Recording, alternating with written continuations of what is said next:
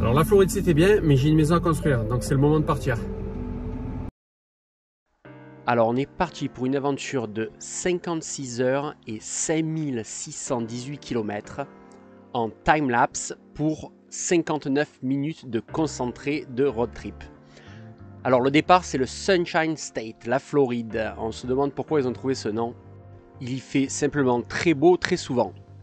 Alors le départ c'est Saint-Pétersbourg, juste à côté de Tampa.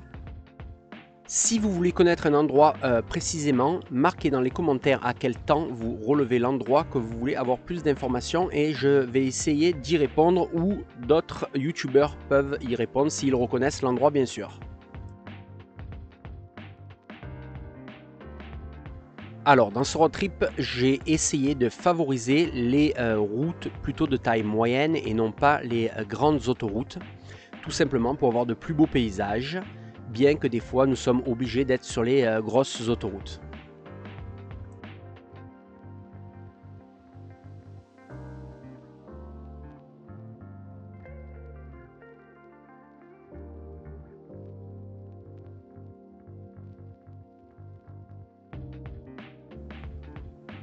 pour info, la Floride a réputation d'être assez redneck. Et un jeu qui est assez sympa, c'est aller sous Google et taper Florida Man avec une date. Souvent on utilise la date de naissance, le jour et le mois. Et vous allez avoir une histoire rocambolesque qui s'est passée en Floride. Et ça marche pour à peu près toutes les dates. Quelqu'un qui a été attaqué par un alligator ou un homme qui a attaqué un alligator. Ou... Ça peut être n'importe quoi et c'est très drôle. Donc la date, votre date de naissance et Florida Man sous Google et vous allez voir, c'est très rigolo.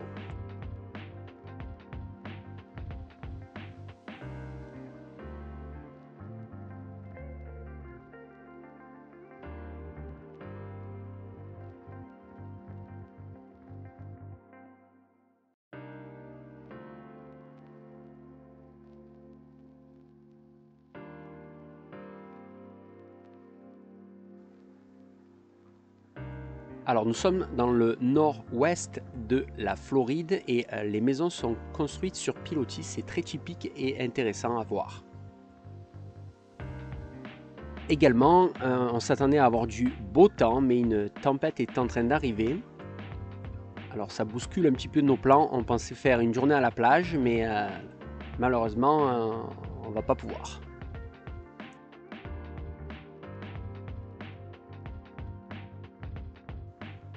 Fait en général l'hiver entre 18 et 22 degrés et euh, malheureusement euh, il doit faire dans les 13-14 euh, degrés et beaucoup de pluie et de vent.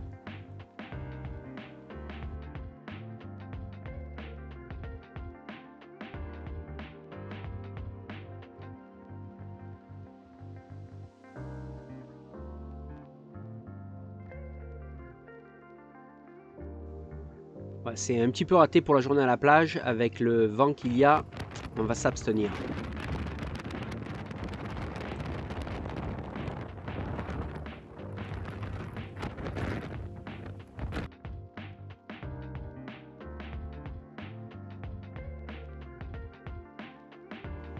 On est du côté de Panama City, c'est une ville plutôt festive. Beaucoup de jeunes américains, de jeunes étudiants y vont pour le spring break.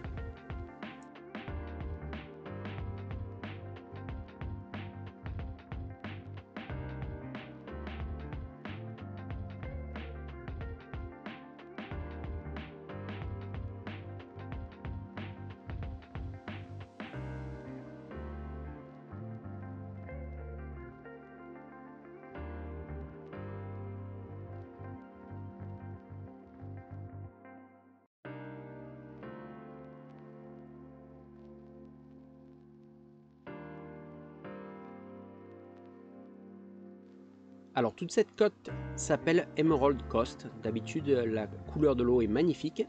Mais bon là avec les courants et la tempête euh, c'est plus gris que bleu. Alors euh, voici la ville de Rosemary Beach. C'est une ville très huppée qui m'a fait penser à une sorte de petit Saint-Tropez américain. Vraiment pas connu des touristes. Mais c'est très joli, l'immobilier est très cher.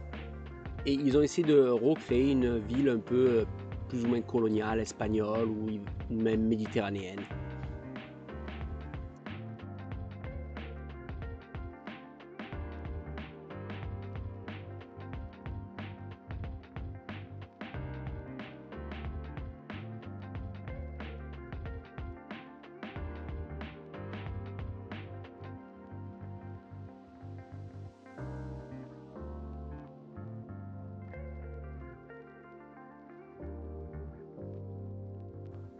Un petit peu plus loin sur la côte, c'est là où ils ont filmé le film Truman Show avec Jim Carrey.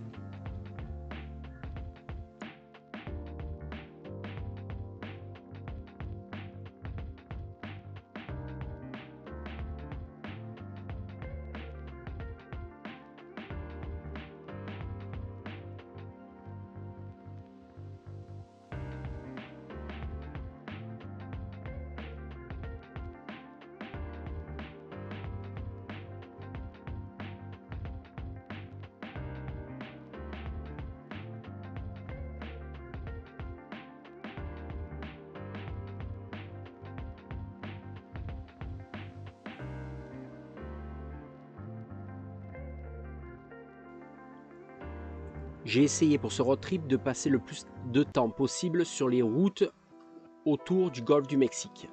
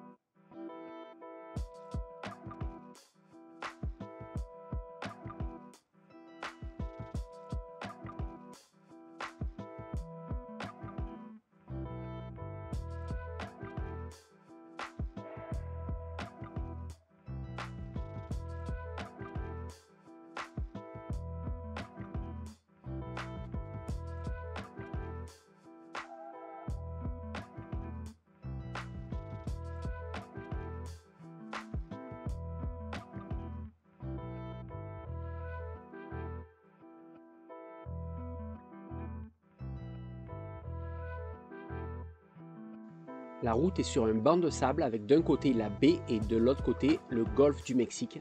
Le sable est blanc, c'est vraiment magnifique.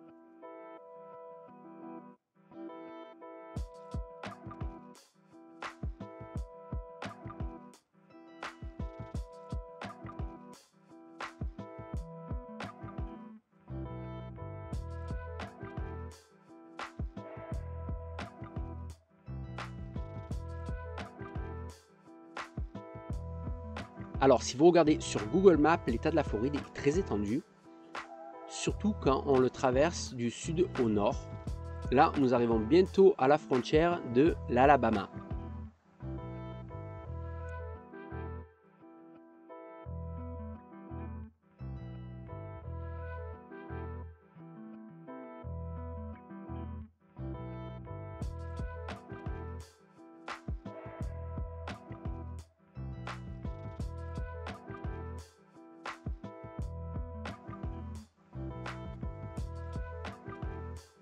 Bienvenue dans l'Alabama, Sweet Home Alabama. Alors spécial dédicace pour tous les fans de Forrest Gump. Ça l'état de la crevette.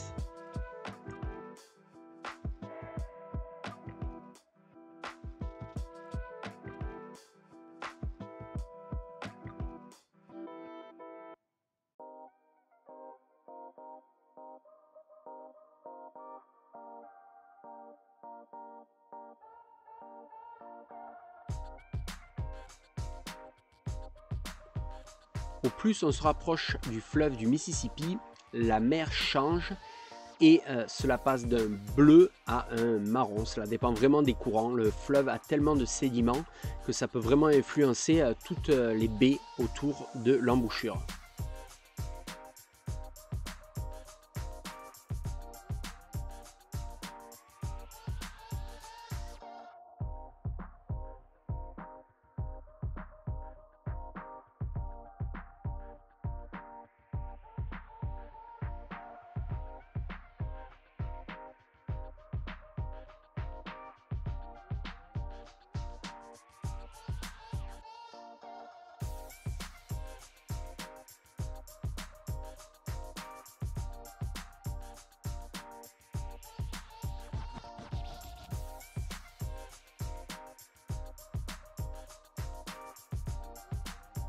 Au loin la skyline de la ville de Mobile en Alabama. Il y a un tunnel qui bypasse toute la ville.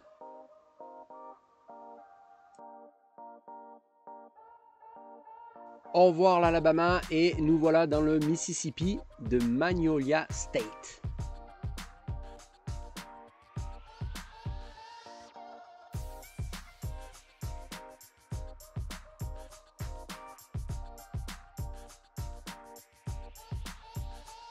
Je reprends la route par la côte et on passe par la ville de Biloxi. C'est une ville de casino comme Las Vegas, mais beaucoup plus orientée touristes américains que clientèle internationale.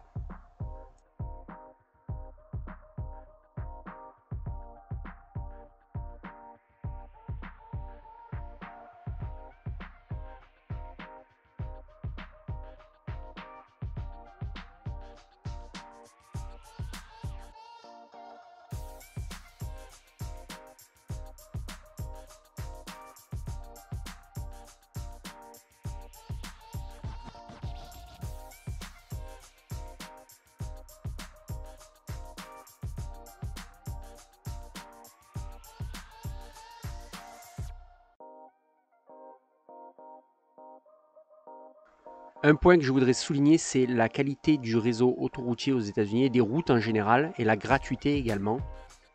Il est très rare qu'il y ait des péages et l'entretien est exceptionnel. Les routes sont d'une qualité vraiment superbe.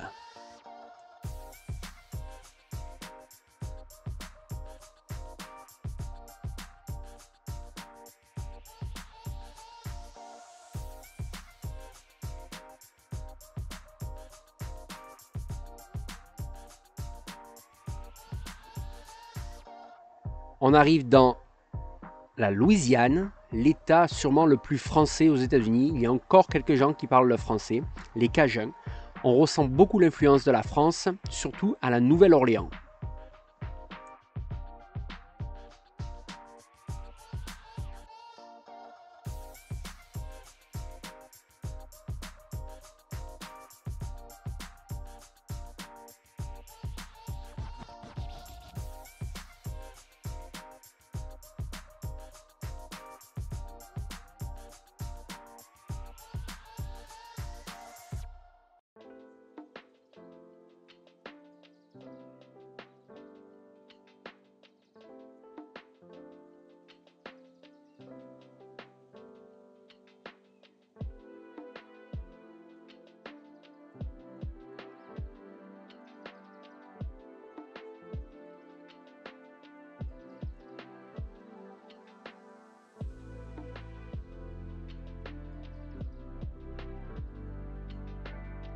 La Nouvelle-Orléans est une ville très festive. Donc là, on est dans le quartier français. C'est où tous les bars et attractions se situent dans la ville.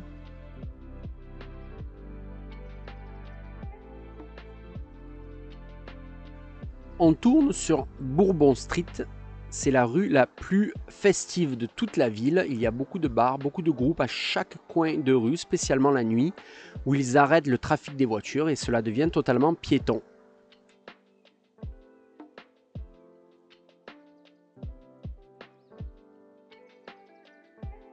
Ressent vraiment l'influence française dans la ville, par les noms des rues, euh, la décoration, etc. L'influence créole et aussi cajun. Oups, je suis entré dans une euh, rue à sens unique. N'appelez pas la police, merci.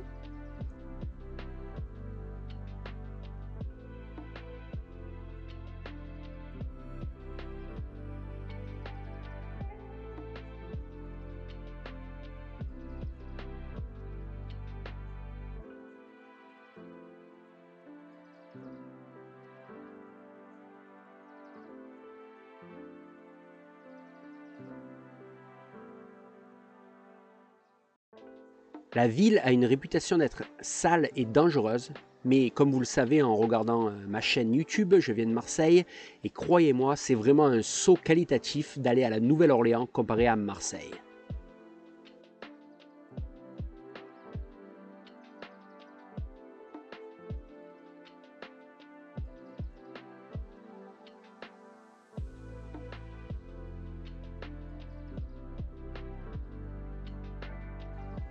Temps de dire au revoir à la belle ville de la Nouvelle-Orléans pour continuer notre road trip.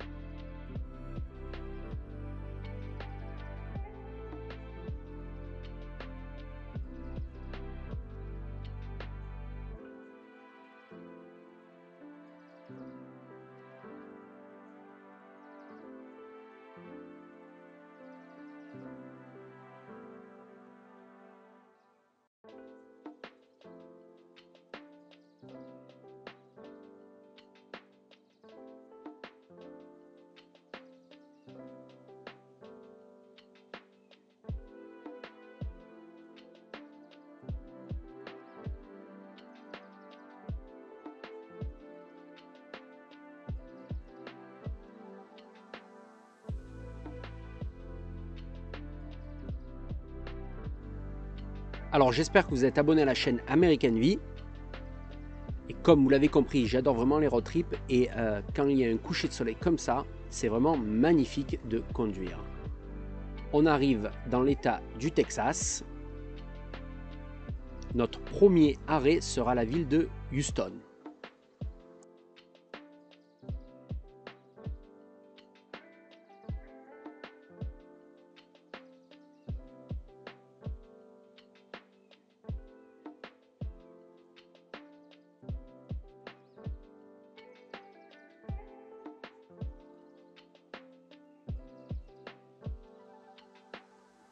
Un beau coucher de soleil, on va avoir un beau lever de soleil. Juste le temps de dormir dans la ville de Houston. Alors Texas, c'est le Lone Star State pour l'étoile sur son drapeau. Houston, c'est vraiment une ville typiquement américaine, très étendue, les gratte-ciel au milieu et toutes les autoroutes aux alentours et les banlieues.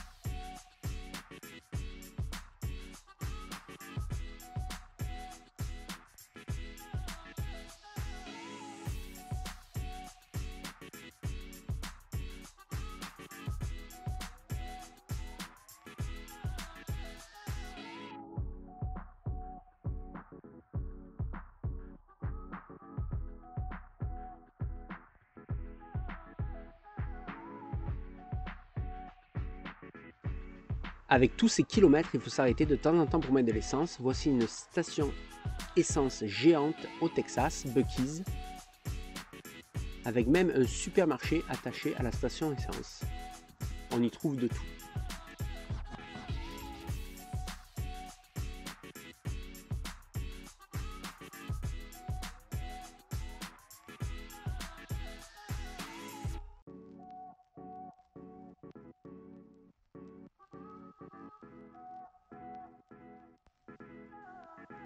Prochain arrêt, c'est la ville de Austin, au Texas, toujours, où Elon Musk a établi domicile avec sa nouvelle usine géante pour les Tesla.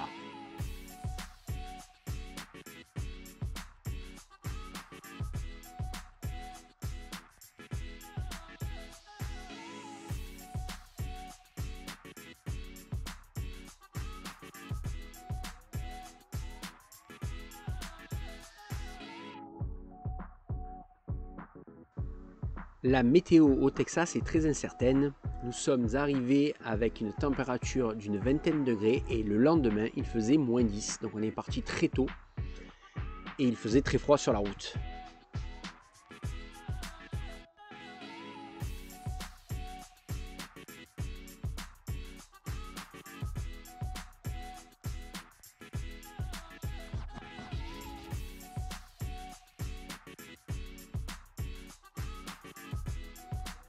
Je vais devoir m'arrêter à Carglass. On s'est pris un rocher sur le pare-brise.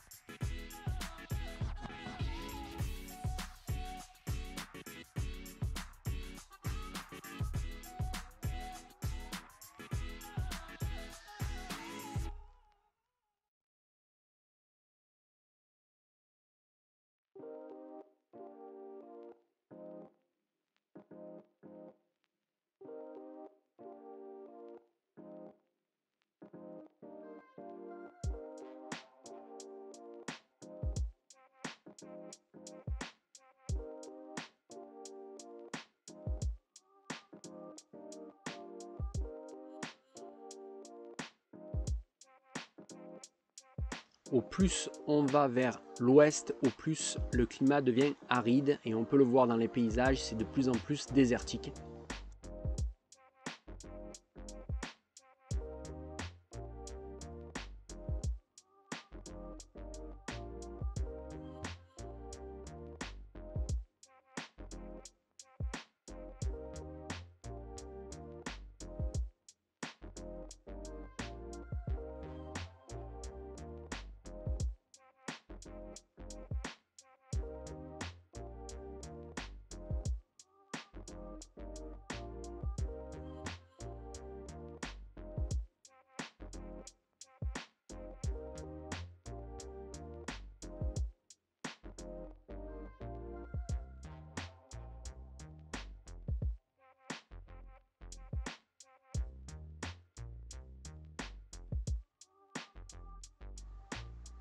Ce road trip illustre vraiment bien la géographie des États-Unis. À l'est c'est plutôt plat et au plus on va vers l'ouest, il y a de plus en plus de montagnes.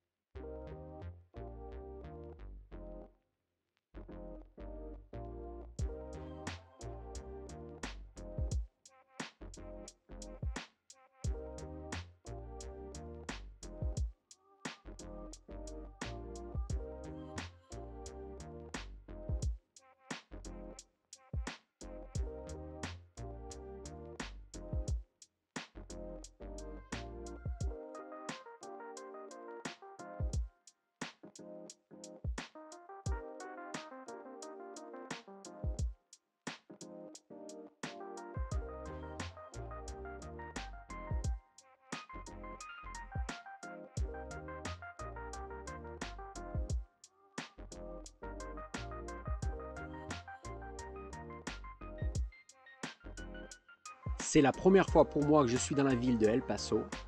D'ailleurs, vous avez dû en entendre parler dans la série télé Breaking Bad. L'agglomération est assez grande. La, région est de à peu près un million d'habitants. C'est vraiment entre la frontière du Mexique et des États-Unis. La ville est comme divisée en deux. Et on ressent beaucoup l'influence espagnole dans l'architecture, les églises, etc. Ils utilisent beaucoup de pierres aussi pour la construction, ce qui est rare aux États-Unis.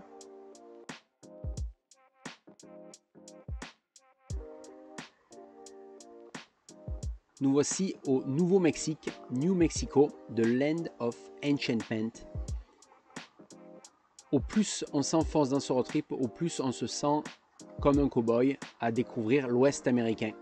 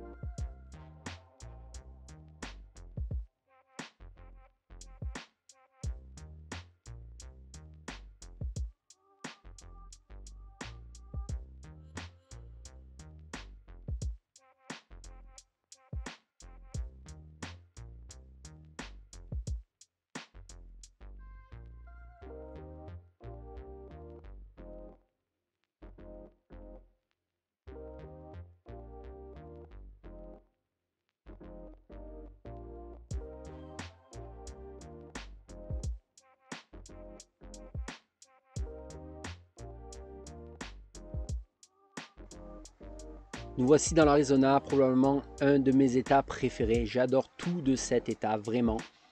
C'est The Grand Canyon State. Il y a des euh, beautés naturelles incroyables, des paysages à couper le souffle et euh, une ville vraiment incroyable à découvrir également qui est Phoenix.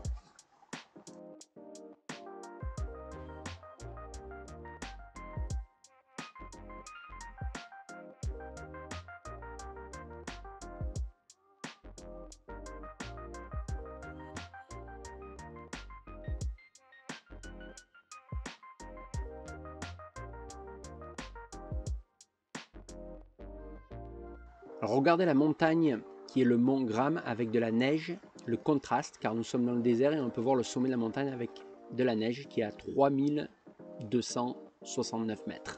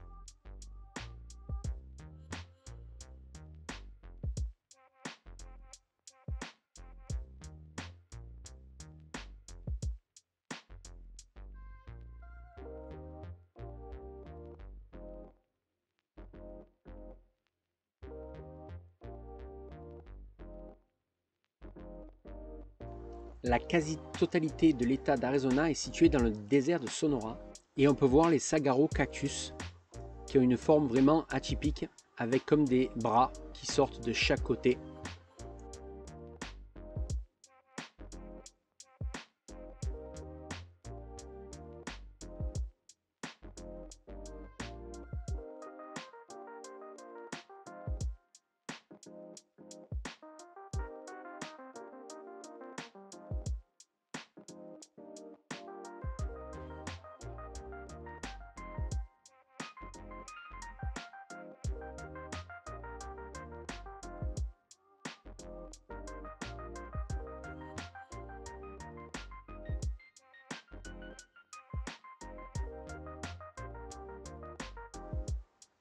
Regardez la taille de ces cactus, c'est vraiment impressionnant. Ils peuvent vivre des euh, centaines d'années et sûrement ceux-là sont très vieux car ils ont atteint une taille vraiment relativement grande.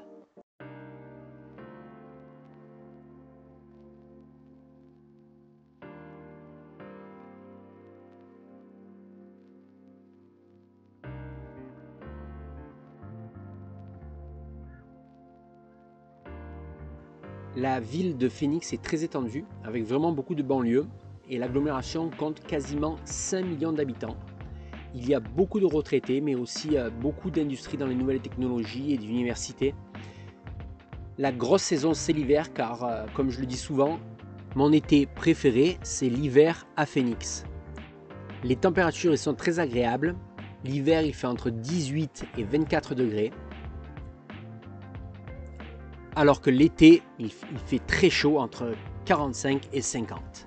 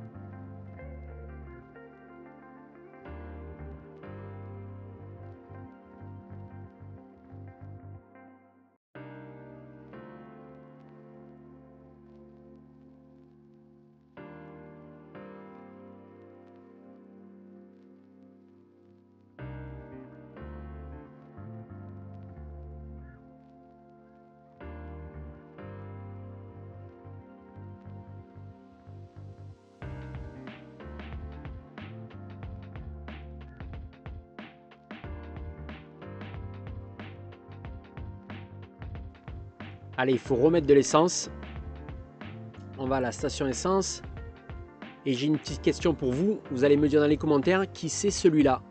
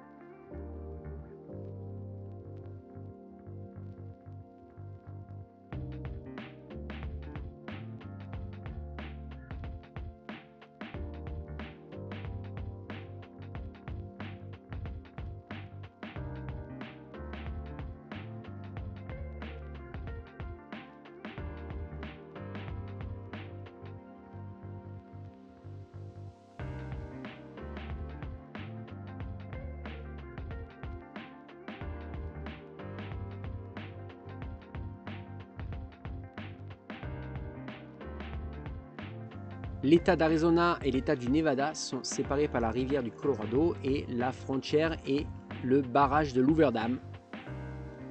Nous voici donc dans le Nevada, très très proche de Las Vegas. On peut voir la ville au loin avec le strip.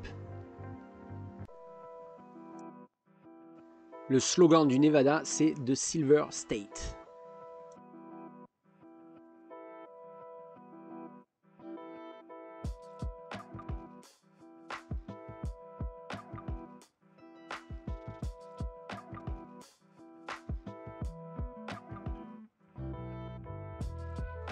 Si vous êtes abonné à ma chaîne, vous devez savoir que j'ai vécu à Las Vegas pendant 5 ans et voici le quartier dans lequel je vivais.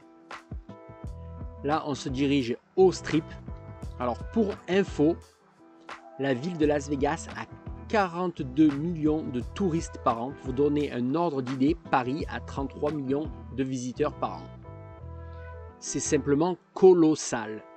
Tout est pensé dans cette ville pour les touristes. Le Las Vegas Boulevard, aussi appelé le Strip, c'est une rue bordée d'hôtels et de casinos de chaque côté avec des capacités monstrueuses.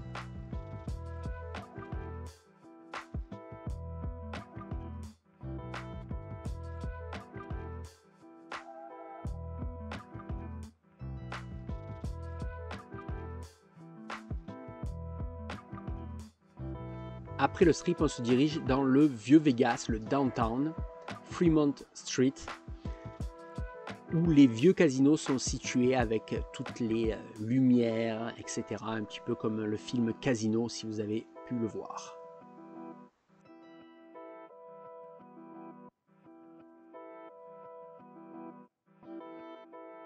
Vu que nous sommes à Vegas, nous ne perdons pas une occasion de sortir.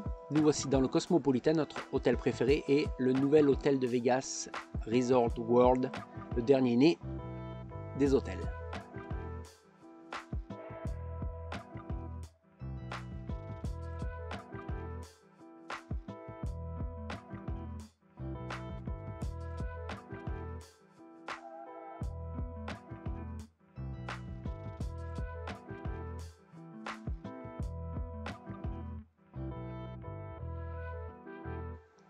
Vegas n'a pas de banlieue, quand on sort de la ville, il n'y a vraiment plus rien, c'est le désert.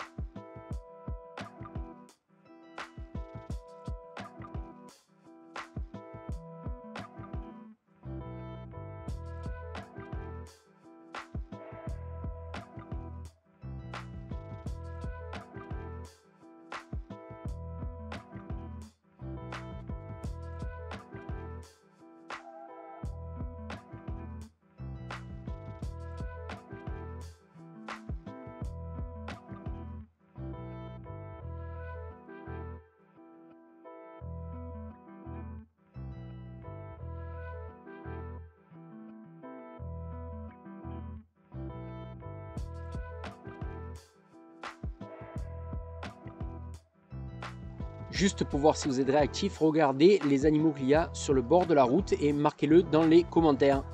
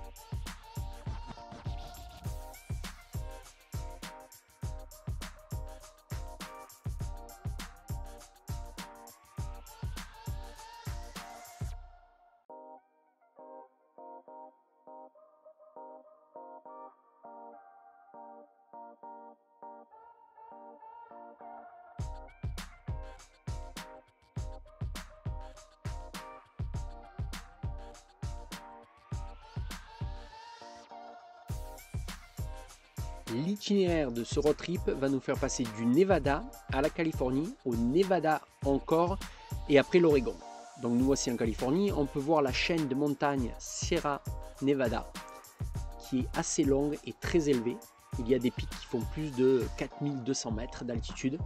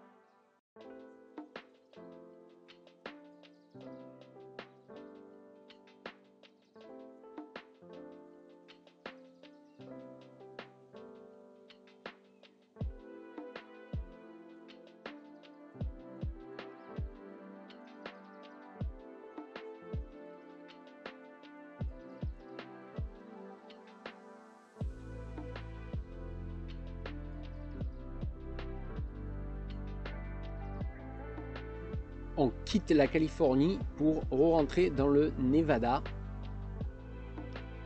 pour un tout petit moment, juste pour traverser la ville de Reno et repartir en Californie.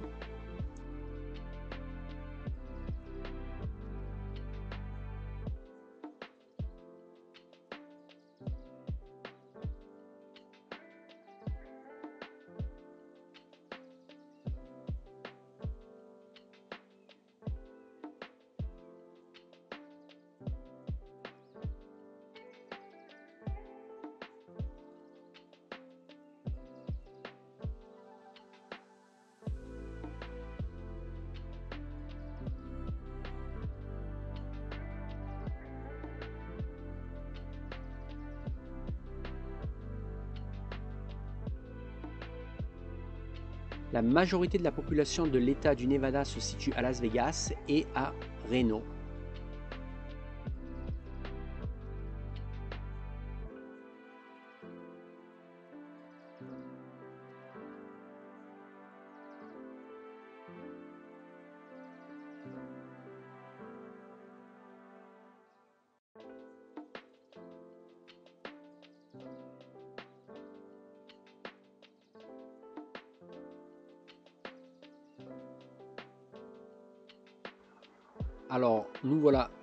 Californie pour un petit bout de route.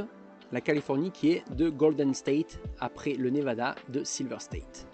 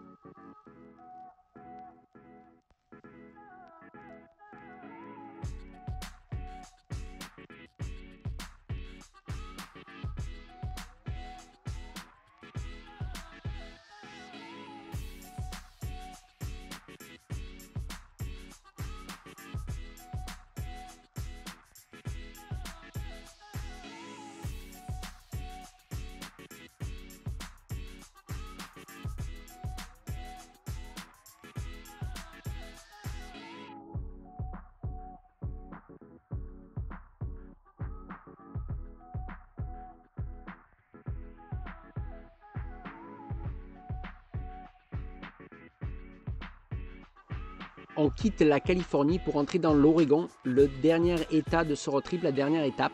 L'Oregon, c'est de Beaver State, mais ils auraient dû l'appeler l'état le plus pluvieux car il y pleut beaucoup. Apparemment, on a beaucoup de chance car il fait soleil pour cette dernière étape en route pour l'océan Pacifique.